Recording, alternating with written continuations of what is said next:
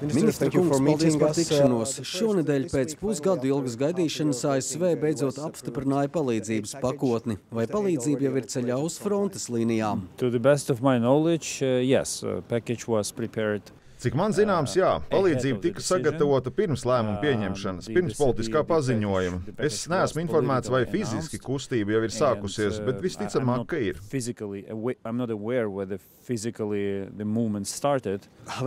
Tomēr arī pats esat minējis, Ukrainai būs nepieciešama tālāka rietumu partneru palīdzība. Yes, we are fighting uh, the war uh, of the scale.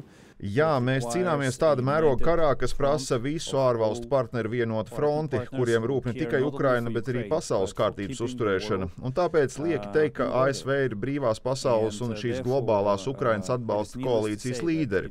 Bet ASV nevar būt vienīgās, kas nes nastu. Un tāpēc ir tik svarīgi, ka Vācija ir ievērojami palielinājusi savu atbalstu un kļūsi par otro lielāko militārās palīdzības sniedzēju aiz ASV.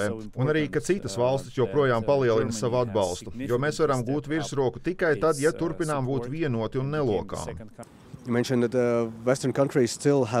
Esat teicis, ka rietumvalstīm vēl ir ko darīt, lai stiprinātu savu militāro sektoru, lai ražotu vairāk bruņojuma, vai līdz tam joprojām ejams tāls ceļš.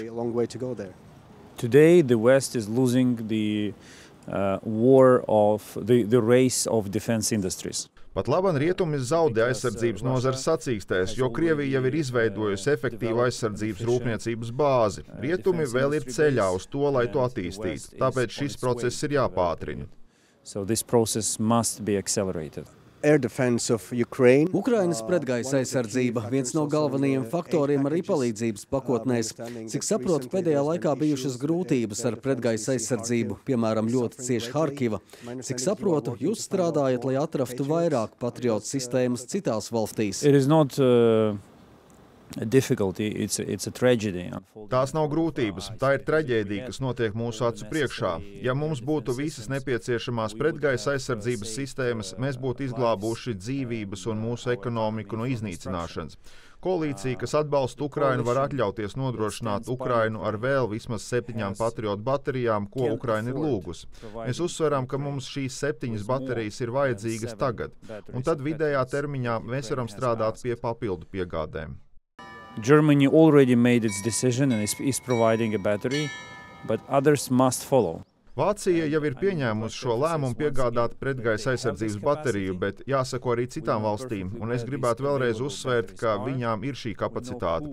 Mēs lieliski zinām, kur atrodas šīs pieejamās pretgaisa sistēmas. Mēs zinām, kurš ar kuru runā, bet ir pienācis laiks beigt diskusijas un pieņemt lēmumus. Par katru nākamo nāvi un postījumiem Ukrainā atbildīgi būs tie, kas vilcinās pieņemt lēmumus par Ukrainas nodrošināšanu ar patriotu sistēmām.